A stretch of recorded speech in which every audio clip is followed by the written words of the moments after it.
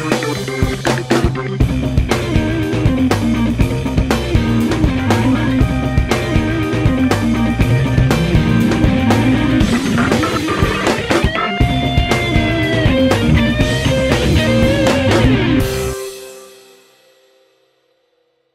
Benvenuti al nostro TG Sport, cari amici di Telemolise. Per il calcio di Serie D il Campobasso si prepara ad ospitare il Castelfidardo, l'Olimpia Agnonese prepara la trasferta di Recanati per entrambe le molisane in palio punti pesanti.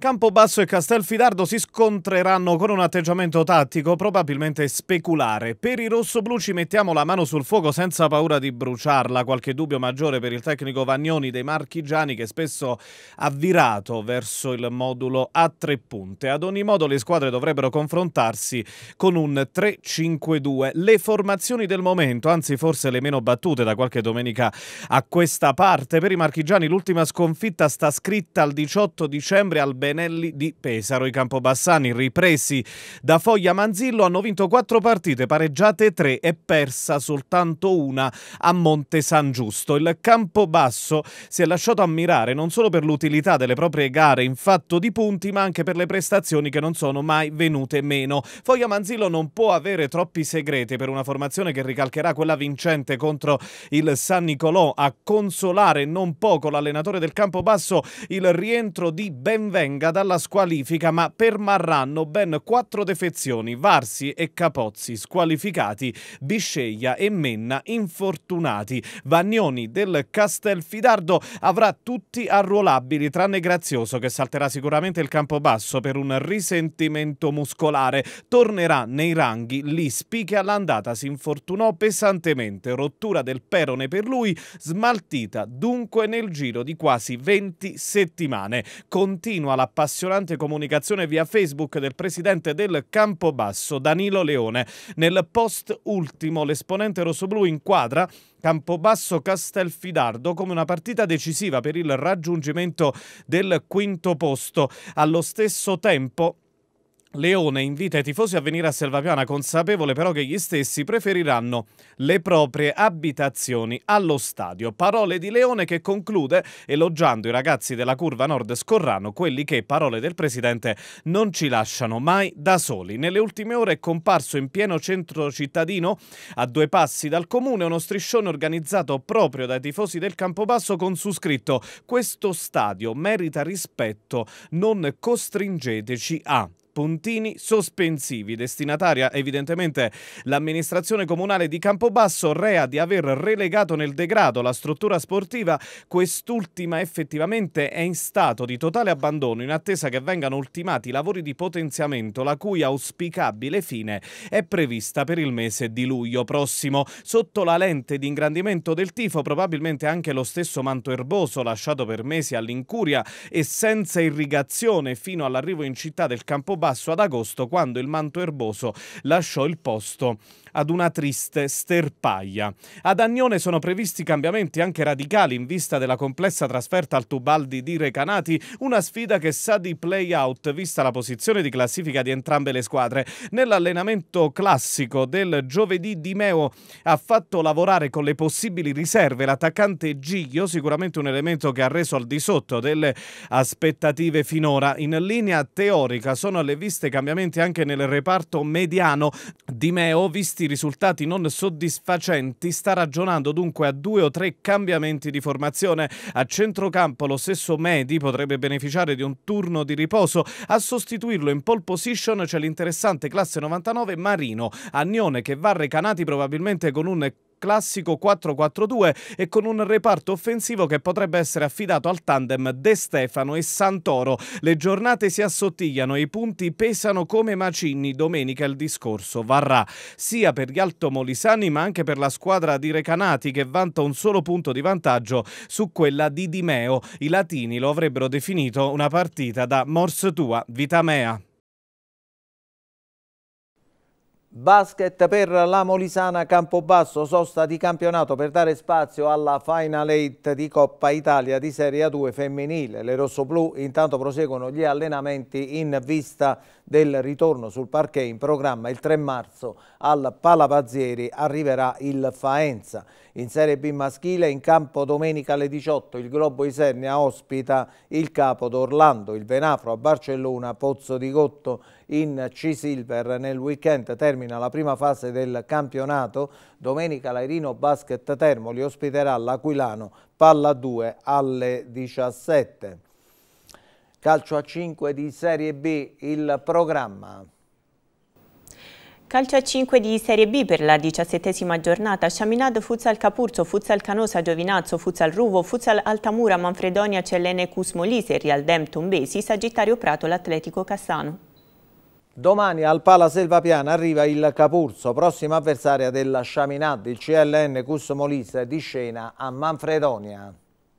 Diciassettesima giornata nel campionato di Serie B cadetto. Domani pomeriggio ci scende in campo con CLN Cusmolise e Chaminad. Obiettivo playoff per entrambe. A sei giornate dalla fine della regular season, le rappresentanti del futsal molisano cullano il sogno di entrare nei playoff. In realtà la Chaminad è già nella griglia con il quarto posto attuale, al contrario il CLN Cusmolise è a meno due lunghezze dagli spareggi promozione. Iniziamo dalla Chaminade. Dopo la sconfitta pesante in casa della capolista Tombesi Ortona, è fondamentale tornare al successo domani al Pala Selvapiana contro il Capurzo. Come detto nella Tana dell'Ortona, nulla da fare per i ragazzi di Pizzuto. Gli abruzzesi tra le mura amiche hanno vinto le gare e viaggiano a velle spiegate verso la vittoria del campionato. Poco male, importante ora rimettersi subito in carreggiata e centrare il successo contro il Capurzo, compagine attualmente al penultimo posto a cuore quota 14 punti.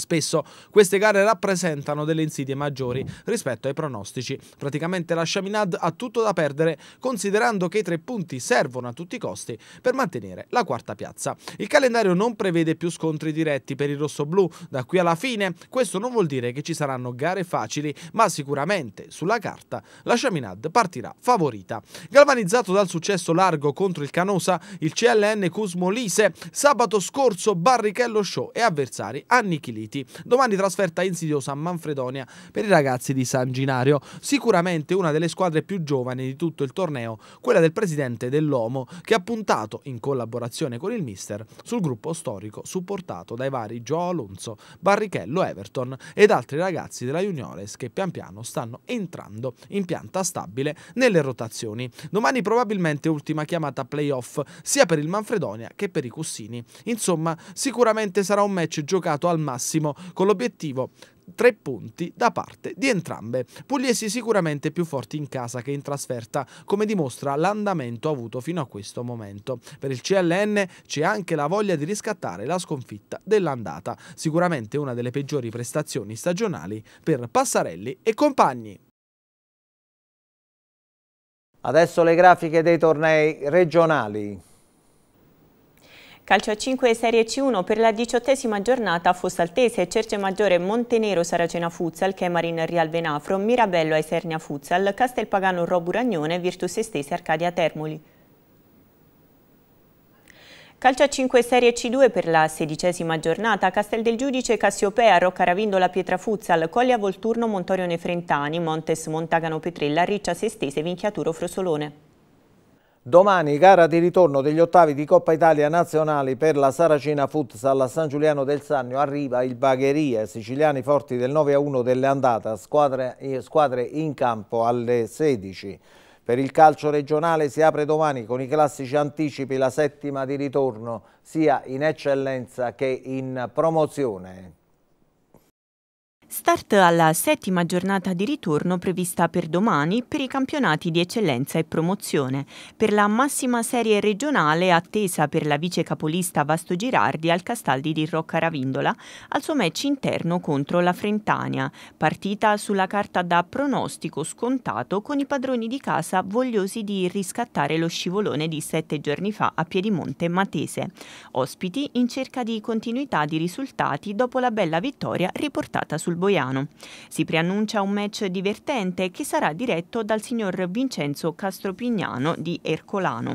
Il Campobasso 1919 se la vedrà al nuovo antistadio Selvapiana con il campo di pietra. I ragazzi di Mister D'Aversa sono reduci dal pareggio contro la capolista e tenteranno domani di portare a casa punti pesanti in ottica salvezza. Padroni di casa in cerca di una vittoria che gli permetta di evitare l'ultimo posto in ballo con lo Spinete, che significherebbe una retrocessione diretta. Partita delicata che sarà arbitrata dall'isternino Cristian Romei. Match casalingo per il sesto campano che incontrerà il boiano di Mister Gioffré alla seconda trasferta consecutiva dopo la sconfitta di Serra Capriola. Entrambe le formazioni cercano punti pesanti in chiave play-out, arbitraggio affidato a Gianmarco Meo di Sernia. 90 minuti interni per la Life che se la vedrà con il Real Guglionesi. I neroverdi sono in cerca di un risultato positivo, mentre i ragazzi di Mister Morra intenzionati a portare in campo il loro miglior gioco e tanta disciplina per cercare di garantirsi una tranquilla salvezza. Arbitro del match sarà Fabrizio Saluppo di Campobasso. Scendendo in promozione la capolista FVP Matese incontrerà sul proprio campo il Molise. Entrambe le squadre sono reduci da due significative vittorie, perciò domani obiettivo sarà quello di mantenere la vetta della classifica per l'una, garantirsi una tranquilla salvezza per l'altra. Arbitraggio a cura del signor Pasqualino Fattore di Sernia. Chiude gli anticipi il match tra il comprensorio Vairano e la Cliternina che si disputerà allo stadio Cantelmo. I biancorossi indirizzeranno tutte le loro energie per garantirsi una salvezza tranquilla, mentre i ragazzi di Mister Grieco domani in campo per portare a casa casa punti pesanti in chiave playoff. Arbitro del match sarà il signor Nicola Di Mario di Campobasso. Domani la Frentania dovrà affrontare il Vasto Girardi.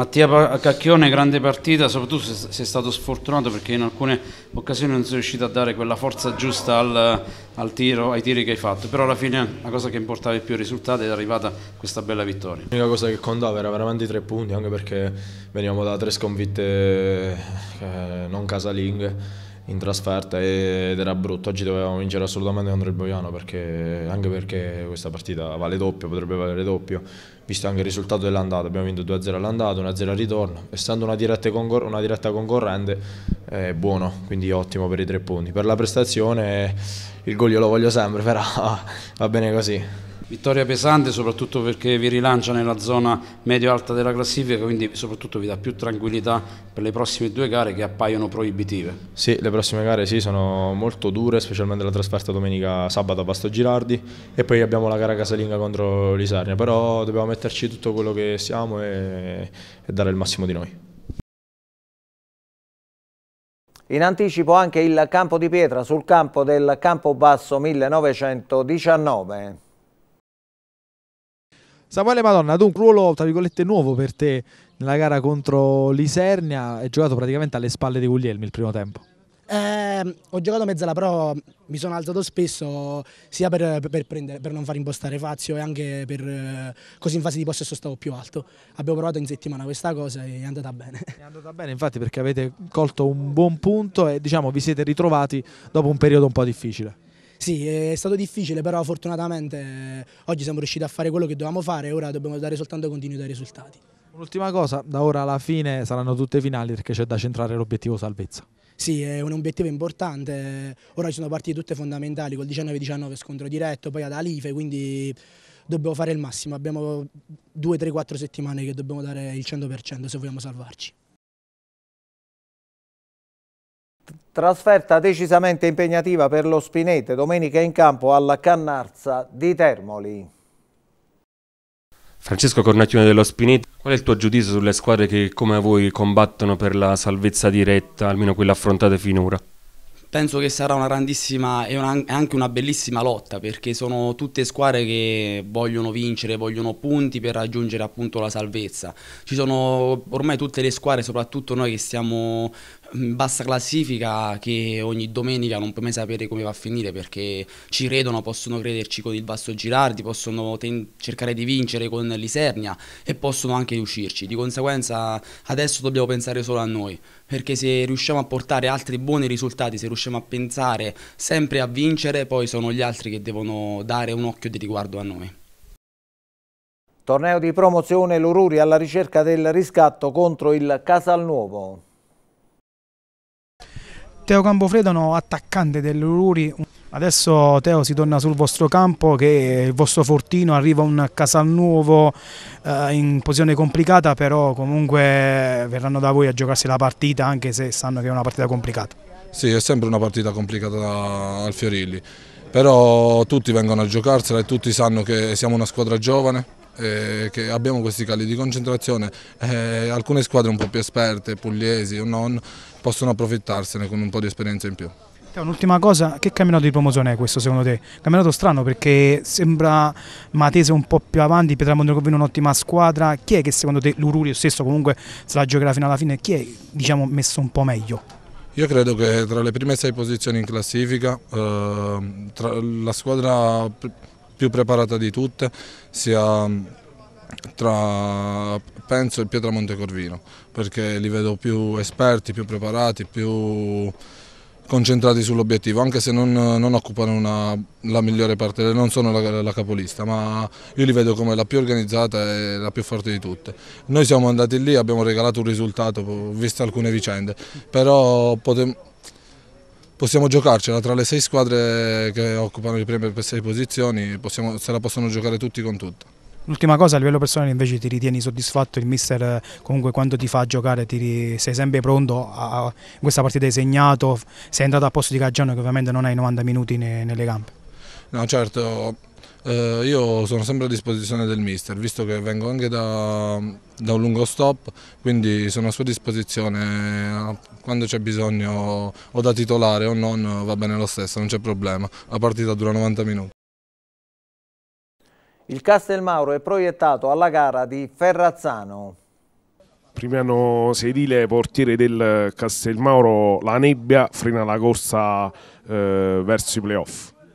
Sì, no, vabbè, la nebbia è come, da come si era messa abbiamo preso praticamente, la stavamo anche perdendo la partita, quindi diciamo, non lo so se è un vantaggio o uno, uno svantaggio che comunque sia stata sospesa, anche perché è stata sospesa sul 2-1 per loro e siamo andati in vantaggio praticamente con un gran gol di, di Paolucci che, che, è un under, ha fatto veramente un grandissimo gol e poi non lo so, al rientro dal, dall'intervallo non lo so, forse abbiamo avuto un, un blocco mentale che ha portato diciamo, a farci prendere due gol, però ti ripeto è stata sospesa quindi meglio così si recupererà più in là. Insomma dando uno sguardo alla stagione in generale, che voto dà Primiano Sedile al Castelmauro? Ma guarda, io come, come, come, impegno di tutti i ragazzi, di tutti i miei compagni di squadra, eh, diciamo un 7. Forse se, se, se, se, qualcuno ci avrebbe messo un po' più di impegno saremmo stato proprio una squadra praticamente da, da e mezzo perché comunque diciamo siamo tutti giovani, la squadra è stata tutta cambiata in, rispetto all'anno scorso, quindi c'è stato un cambio anche di, di, di, allenatore, però questo ha portato comunque i suoi frutti e alla fine 30 punti noi dobbiamo salvarci per poi praticamente toglierci qualche soddisfazione più, più in là.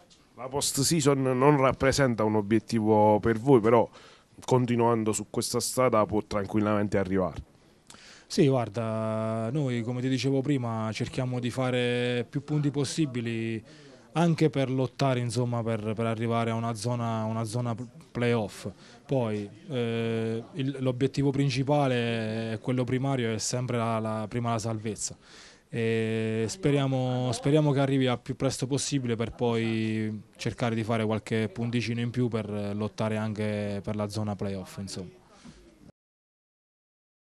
Pallavolo maschile di Serie C domani sul campo dell'Ortona per la Labor Vetro Campobasso, primo servizio alle 19. In Serie D femminile sempre domani alla palestra di Villa De Capua la nuova pallavolo Campobasso alle 18 scenderà in campo contro il Cordigeri.